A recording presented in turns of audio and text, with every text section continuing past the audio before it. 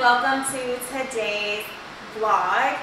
Today we have Patty No Mayo with us and we are going to talk about how to get right for Black History Month. We want to make sure that you guys are prepared, that there's going to be a great action coming from Black History and that you guys know exactly what to do to put your money in your mouth where it counts.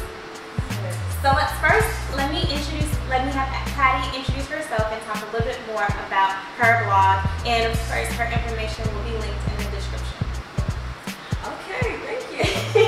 okay, so I'm Patty, obviously, um, from pattynomayo.com. That's where you can find me. Um, you can find me on social media. It's Patty No Mayo,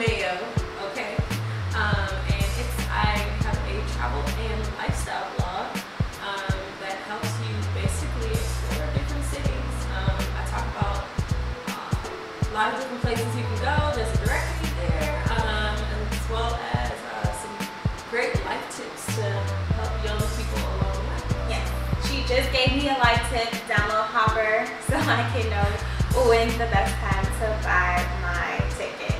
Yes. yes.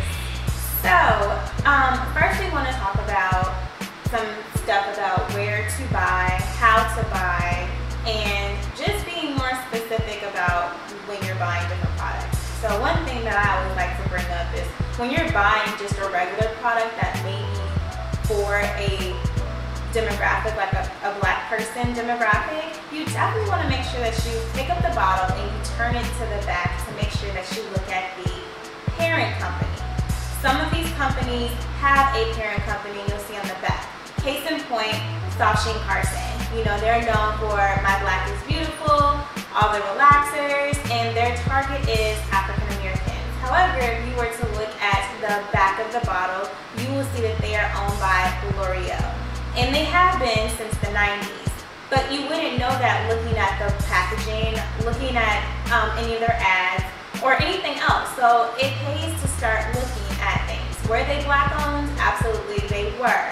But they sold, I believe, in 1995. Is it the same thing with Shea Moisture? I was somebody No. telling me. So Shea Moisture used to be 100% owned by the Sundial Brands, right? So the Sundial Brands is the parent company of Shea Moisture and they were owned by the same guy. The same guy, um, I think his name is Richelieu Dennis. He owns both of them. However, he has sold portions of his business to um, majority owners of different brands. So one of the people that bought his um, Richard Sundial Brands was Mitt Romney's company. So it's things like that. so is it black owned? It still is black owned. It still is majority black owned, but they do have majority um, people investors now. Hmm up. And you can tell now. You can see that they're kind of going for like a more. Um, their market is for everybody now, and there are certain brands and lines that are still for African Americans, still for 4C hair and things like that. But you will see that they are throwing in some other ones. And I just look at it like this. Um, is there something supposed to sell to everyone Right? but support your own, right? That is what everybody else does. Do Chinese restaurants say we not gonna support or have customers from anybody, just Chinese? No, but Ch- Chinese support each other, and we need to just kind of get back to that. But um, That's a good point that Yeah. you made about not just making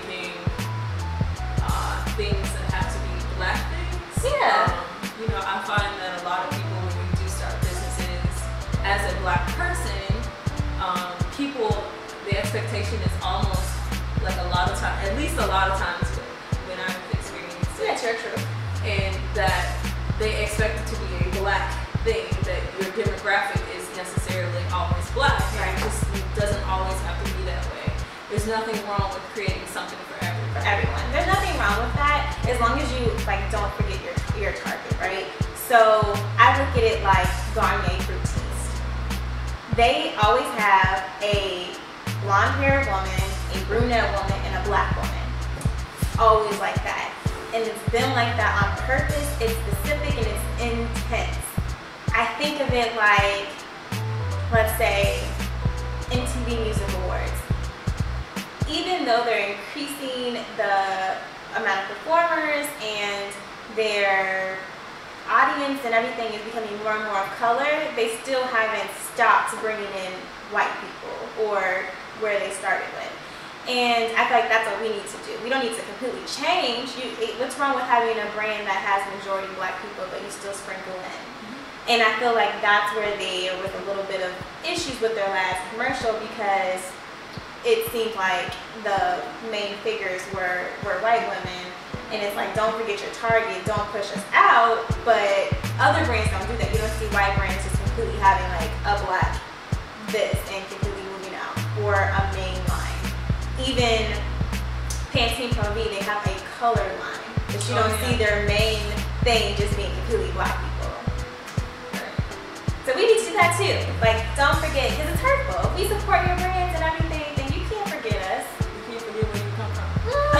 Who supported you from the beginning? But that's just a branding issue, and I think that a lot of times, a lot of brands don't um, survey who they need to survey.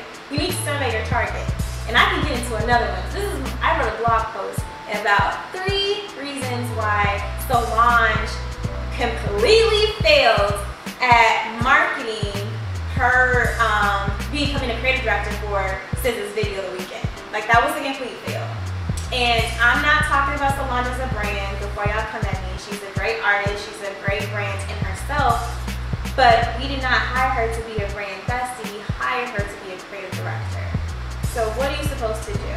You're supposed to one, survey your targets, your company that you're working for, brand that you're working for, audience. If you would have surveyed the audience, you would have known, well, we needed fun. We needed a storyline. And our following for SZA is not the same following for Solange. Solange, you can do some really artsy um, stuff and it's, it's fine. But you can't do that to everybody. Next, Solange, me, utilize the resources that you have. You could have hired a movie director like, um, like what, like Beyonce does. Beyonce hires movie directors for her videos. You could have done a lot of things, but you didn't. You really copied your homework and put a bad filter on it. And to me, that's not okay. And if you would have known that your audience needed a plot, it would have been different. Solange, so SZA had the opportunity to have the most viewed music video on YouTube, I felt, for the year, and maybe of all time, just because it was a breakout hit. And with a breakout person song, it's not time to play and throw out some things. You really want this person to either generate income, which you can have likes and ads, generate views so you can get awards and notoriety, and increase your surrounding. And she really dropped the ball. Black people,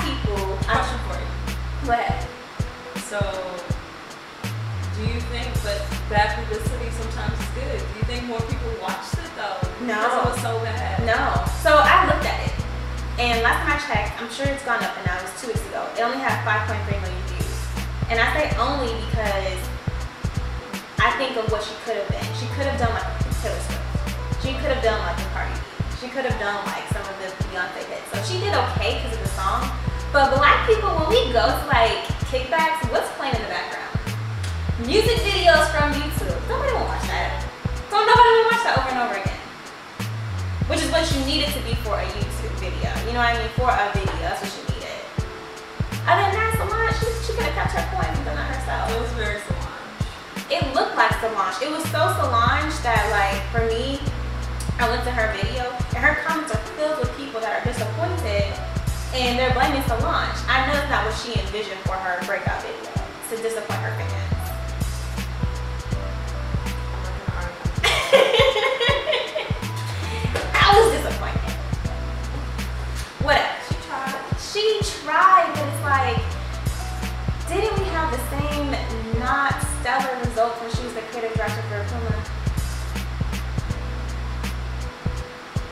Like, not shade, but it's like if you didn't go to school for it, then hire someone. I think Solange is. She does have a very unique brand. I think she's one of those people I can slay my hair, but slay only my hair. Only my type hair, people. yeah. There are some people. So I'm That's like, perfect like, analogy. like there are some people who are good at like I can slay your hair, but I can't slay my hair, which I'm very much like that. That's, that's how we met. Um, and then there are some people who I can slay my hair and I can slay my, you know, just my hair. And then there are some people who can do both. Those people are unicorns. Right. Everybody can be both. I mean, what works for her, her creative direction. I could see Solange actually doing like a Kanye video and be excelling at that. Selling at that. I just don't think that SZA is the right artist for her to work with. And you don't play with breakout artists. You know what I mean? Like you don't play with somebody just starting out. She's trying to figure out her way. Like you need to just kind of stay. If she would have surveyed her people, she would have figured out some additional resources and help to make sure that this was 100% together. And if she wouldn't have copied her work so much, it wouldn't have been an issue. I only watched the video for that. Um, See? You're not gonna. I only See? watched the video just to see what the controversy. Just to see the controversy. And then you're like, okay, I'm not going to put that in my playlist. Well, I never have the weekend in my playlist anyway, so. But we won't get on that. We won't, we won't, we won't. We won't get on that. You know, I support people, but uh. All right. Okay, so what do you think about people that are trying to buy black? What would if they're like, okay, this time it's February, I'm really going to make sure that I do this correctly, in order, and on time, and I'm getting me, my husbands, and my children all together. Okay, so first let's talk about the fact that most people don't even think about February as some time to, to buy black. Let's talk about Black History Month, right? Okay. So um, one thing that I always do, um, February and March. Actually, you know what? I do this all year. Let me stop lying. Right. Um, cause I go to currency exchange almost every week. um, shout out to currency exchange. If you live in Chicago, you go to currency exchange cafe. But we, we won't even get there. Yeah. We'll talk about that later. Um, but one thing that I always do is for the month of February and March, I like to support women and minority-owned businesses, specifically black businesses, um, just because a lot of these businesses um, don't have the same startup capital that um, and the same incoming revenue that uh, other businesses have. Mhm, gonna mhm. say other. Um, and so, you know, when we talk about Black History Month, you know, a lot of people talk about, um, you know, the historical aspect, but we fail to talk about how we are growing as a people. Um, and one thing that I always say is, like we said earlier, put your money where your mouth is. Yeah. know? A lot of people, are, especially in this climate, a lot of people are talking about what we don't have, what we don't have, what we don't have. But one of the ways that we can create is to invest. And by invest, I say support, you know, black-owned businesses and women-owned businesses. Um, by shopping, it's something Yeah. so simple, especially in black neighborhoods. Um, you know, where the money can make a direct impact. You know, Right. um, that money doesn't like a lot of people don't know, but that money like not only does it go into the store, it goes into hiring people. Mhm. You know, with hiring people, it's like a trickle down effect. With hiring people, then you're, you know, those people are able to reinvest in their community into other businesses. Right. And, they, and the people that they support, like the little look more like you. And just like the stuff that you don't even think about that everyday communities need to kind of continue on. Right, because like once once they're able to support, like let's say a couple more people move into the neighborhood because your business is flourishing so well. Right. Let me see if we get a piece of Let that. me get a piece of that. Yeah. You know, the next business moves in. You what do you, that's more tax money for the community. More tax money means better schooling, better schooling, better Exactly. parts. It's like a um, trickle down effect. You know, it, you know, just by putting a couple dollars um, in revenue. And let me say this: don't ask for a discount. Do not ask for this. Don't ask for a discount. We, we. Especially if you're going someplace that's already reasonably priced. Yes. You know what I mean? It's you not go to the Louis store and ask for a discount. Right. And you don't listen to Dots ask for a discount either. So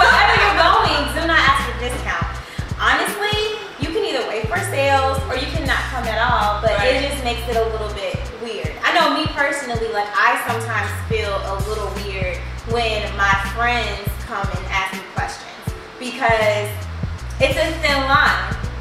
Do I give you some advice or do I send you an invoice? Because ultimately, I'm not a millionaire yet, so you're taking money out of my pocket and getting free stuff. And if you were to go somewhere else, you would pay. Mm-hmm. So it even comes to that. Like you want to be specific when you're talking to even friends that are having businesses and things like that. Even if it's just like, you know what, let me at least give you fifty dollars or something like that. Don't say you can't afford it because if Beyonce came out with some tickets, I know a lot of y'all, Beyonce and Jay Z. Oh, I got the money.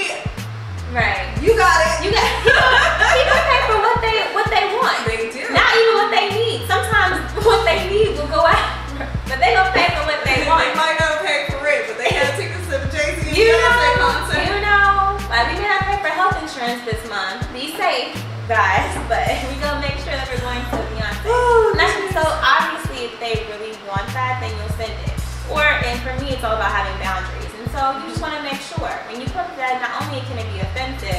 but you may be really hurtful to someone's feelings. Well, you know the other part about that, like I just read, she's not black, but it's a really good book to read. Um, I just did a book review about it. Um, You're a badass at making money. I, okay, so I like I got the first one. I got the yellow book. You gotta get the I gotta green get the one. money You one? gotta, Okay, get- you gotta okay. get the green one. It'll Okay. change your life. You gotta change Okay, your money okay. mindset. But and I have a review on my blog. You can check it out. It's actually my feature post this week. Um, and then one of the things she talks about is when you allow people to discount yourself, like your work, you're discounting your worth. Woo! Say that again for the people in the back. When you allow people to discount your work, you discount your worth. Like Yeah. you know, if I know that I'm work, you know, and I've done this one time. Um, I used to freelance and build websites, and I promised one of my friends I would build her a complete WordPress site for two hundred dollars. Mm. That was not worth my time. No. I love her, but that was not worth my time. Two hundred dollars for a site that's gonna take me you know, Hours hours and hours to build, and you know, And she gonna want you to change this and add that. Right, and I was doing cutouts and all types Yeah. of graphic stuff. But it was just like that's because I didn't know my worth, right? And when you don't know that, when you don't, you know, put a amount or worth or how much your Right. work is worth, you allow other people to dictate it. And if I discount it, like I'm basically saying, oh, I don't feel like I'm worth the amount of money that I'm asking for. Exactly. So if Exactly. somebody says no, do not get offended. Right. I just happen to know my worth, and I know that I'm worth whatever asking price that I'm asking for. This how you personal. eat. Like if I do it that low, then I'm not even able to pay a bill. Mm. Depending on what you're asking for. So you're happy, and I still need to go find three more customers because you really didn't do me a favor. Another way that customers and less, and you spending more time doing. it. Yes. And another way that you guys can help if you're like, well, I don't have the money to really help. If you know a business that's really well, then leave a review, send a referral, make a positive post, share a post. All those things are free that you can do that you're still able to give back because a lot of times businesses come from word of mouth and referrals. I went to um, something yesterday with Black Tech Mecca and I heard this saying that stuck with me. A person needs to hear about you three times before they buy from you. And one of those times needs to come from someone that they trust. So they may see you on a Facebook ad. Then you may see them on an Instagram post. But that last one needs to come from someone that maybe you're bringing up, like, what do you know about Danielle? And they're like, oh, I like her. She's trustworthy. She's responsive. You know, then they're able to go ahead and buy. So you don't know how important you can be without that monetary value um, until you really put that out in the universe. So if you have, you know, one of your favorite businesses, products, services, or something that you really love, then by all means, please spread that word.